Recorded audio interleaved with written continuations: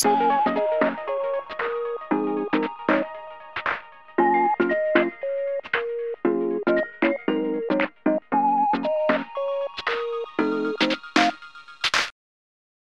まりました。活弁シネマクラブと映画 .com によるコラボ番組10ミニッツアジア。この番組は毎回1本のアジア映画をテーマにその魅力を約10分で語り尽くすという内容となっております。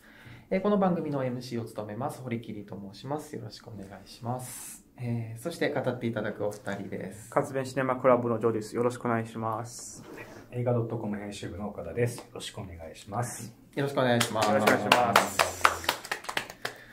はい、えー、今回ですね、取り上げる作品は現在劇場公開が始まっている作品なんですが、台湾映画で、えー、無声ザ・サイレント・フォレストを語りたいと思います。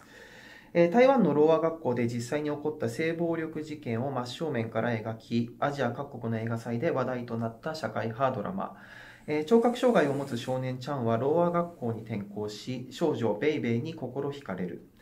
後日、スクールバスに乗っていたチャンは、バスの一番奥の席で、ベイベーが複数の男子生徒から性暴力を受けているところを目撃してしまう。ショックを受けるチャンに主犯格の少年シャオは、その性暴力がゲームであると語るが、監督は長編映画初となった新鋭女性監督、コー・チェンニエン。台湾のアカデミー賞とも言われる金馬賞で8部門にノミネート。ベイベー役のチェン・イエンフィーが最優秀新人女優賞を受賞した作品と。いうことで、えー、これは日本では最初、東京フィルメックスですかね。そうですね。2020年の。はい。で、えー、上映されて、今回劇場公開になった作品と。いうことなんですが、えー、ジョーさん、これは東京フィルメックスそうですね、東京フィルメックスで拝見させていただきました。はい、いかがでしたか？無声ですね。無声。あの、無声ですね、まずは。このタイトルが非常にいろんな意味が入ってるタイトルで、うん、あの、まあ、作品自体もさっき堀切さんが紹介したように、まあ、ああいう内容を聞けば多分、トガニっていう作品のタイトルがみんな出てくるだろうという感じで、まあ、告発系映画っていう部分があるんですけど、私は個人的には、まあ、そういう社会派を描く内容っていうよりは、この映画はやっぱりある意味ジャンル映画でもあります。あの、声の使い使い方、逆にこういう無声をいかに無声で表現するのか非常にうまい作品なんで、で、いわば手話で、いろいろ、手話と字幕で、あと音楽で、あの皆さんのそういうエモーションを出すっていうやり方非常に良かったし、あの、共感しやすい部分もいろんなところがあるので、あの、エンためとは言えないですけど、メジャー映画としてもすごく、うん、あの、いい作品だなと思うので、一作目でここまで描けるのもすごかったなと思います、ね。長編デビュー作なんですよね。はい。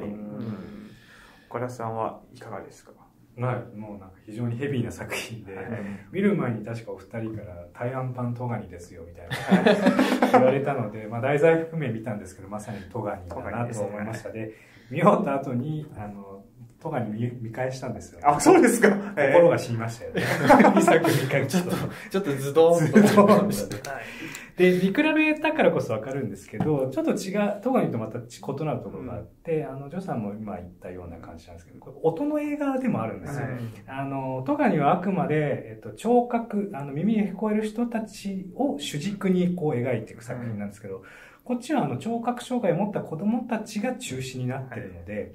あの、今おっしゃったように、私たちは結構字幕で内容を追いながら、音に耳を澄ませることになるんですよね。手話のこの音とか、環境音とか、絹ずれ、吐息、そういうものが際立ってくるので、割とだから劇場鑑賞に非常に適したような、あの作品になってるのかなと思いました、そうですね。あの、数年前のザ・トライブっていう映画あるじゃないですか。あの、ヨーロッパのあの受賞映画で。あれをウクライナ映画で、あれは非常に極端的で、手話使って字幕なしっていうやり方で、それはそこまでは言っていないっていう部分も、まあ、あえてまあそういうメディア向けっていう部分もあるんですけど、それもすごくバランスが良かったなと。いう感じですね。うん、で、しかも、手話と、と今声が出せないっていうのも、ここですごいのは、やっぱりあの、アジアフィルムアワードで、あの、だあの助演男優賞を受賞したキム・ヒョンビンさんが、うん、あの、韓国出身なんですね。ああ、そうなんですね。そうですよ。あの、言語なくてら、だから、韓国の役者でも出ます。そのそれもあすそそうかすごいなんかほどこの映画の一つのうん。なんかポイントっていうか可能性だな。もう手話世界言語じゃないですか、うん。うん。だってしかも重すごく重要な役なので、はいはいじめ側といじめられる側両方。を、そうか、はい。なるほどね、はい。あそういう意味でもあうんるのか、でも確かにあのもう一人の主役みたいなそうですね、立ち位置の役柄うん難役ですし、ねあの役は、うん。うん。はい、そしてあのこの映画あの台湾今第一線のリーグワンティーンさんが、はい。俺たちの理はい由は、ままた出てますっていう感じで。正義の。出ずっぱりですね。この番組はリーグワンティー取り上げる率高すぎるそうですょまた多分今後もね。あれ出出すぎるから。いやもう台湾映画で話題になってるの見ると結構で大体出てるぞ。も出てますね。髪型もほぼ近いです。そうですね。うん。まあ、今回はあの熱熱血というか正義感の、はい、そうですね。良心的な良心的な教師の役役割になってるので、非常にいいとあと、ベイベー役のチェーン・エンフィーさんはあれですよね、あの、弱くて強い女たはい。ちの孫娘役で、なんか全然雰囲気が違う。違います。はい。すごいなと思ったんですけど。うんそうですね。やはり、まあ、あの、まあ、社会派って言えば、ここの作品の中で、いわば子供と大人今、あと学校っていう存在があって、そして、もっと大きく言えば社会っていう、そういう、そういう、なんか、そういう、無力感っていうか、うん。もう社社会に捨てられたりとかは、そういう、まあ、障害者の身うん。としても、なんか差別とか、あの、人間の奥に存在する悪みたいなことをもろに感じたので、色も全体、色とも全体暗いじゃな暗いいでか。ですすよね。もう本当に無に近い感じなので、その辺も監督のそういう演出というかこだわりの部分がいろんなところが感じましたね。だからいわば社会派映画だけではなくという感じですね、この映画のは。はい。割となんかあの2つの事象の対立であるとか、はいそこに横たわる線引きの話でもなるのかなと思っていて、あの聞こえるものと聞こえないものっていうのはまあそうなんですけど、大人と子供ですよね。先生と生徒とかはい善人悪人とか、あとはやっぱいじめることとそれは果たしてい遊びなのかいじめなのかみたいなところのこのゆうんとそこがどっちにあのバランス、うん、揺れるのかみたいなところも書いてるんですけどあとは外の世界内の世界みたいな、なんかそのそのそ2つの存在がだんだんこうゆ誘拐していくというか、はいその様もまた面白かったですけど、そう、いわばそういう善悪の複雑さですね。うん。なんか曖昧、まあ境界線とか、特にそういう単純に善とか悪っていう部分ではなくて、細かくいろいろ描かれている部分も、かなりやっぱりこの監督の観察力が深いなとうん思いますので。これ実際の事件を題材にしたっていうのを聞いてしまうと、はい。ちょっとなんか衝撃的というか。本当にあったんですよね、はい割と衝撃的すぎる。ですねであの実際結構あの描写がききあのき際どいというか、うん。あのきついシーンもあったりするので、まだ多分優しい方かもしれない。まあそうですよね、はいはい。あのただまあなんて言うんだろう。苦手な方はちょっと見ると見るそ時に少しあのその前情報は入入れてみた方がいいかなっていう。ちょっとそうですね。そういう事件を描いてるので、うん。やっぱりあの本当にえぐくはないんですけど、まあなんかちょっとやっぱりトラウマな感じになってしまう可能性もあったりするような作品なので、ただあの、まあ、とはいえ見るべき映画かなとそうですね。いう感じはし見てますはほしいですね、なんかあのアベンジャーズとか出てきましたよね。あ、はいそう、アベンジャーズ。だから舞台がに、これなんか時代背景的に 2012、に23、11、12ぐらいですね。はい。はい。そうそう、アベンジャーズ見に行くんですよ。はい著作権の関係でね、映像映ってなかったですけど、でも、あれすごかったのは、音とか、そのバトルの感じだけで、あ、アベンジャーズ見てるんだから伝わってくるのって、